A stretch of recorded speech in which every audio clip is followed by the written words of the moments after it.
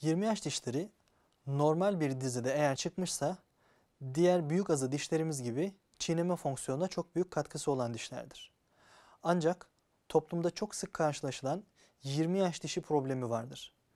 Bu eğer çene darlığı varsa 20 yaş dişinin çıkamadığı durumlarda karşılaştığımız bir problemdir. 20 yaş dişlerinin normalde işlevi çiğnemeye katkıda bulunmaktır. Eğer 20 yaş dişi çene kemiğinde yer bulup çıkamamışsa gömük ya da yarı gömük dediğimiz pozisyonlarla ağız içerisinde göremediğimiz durumları ortaya çıkarır.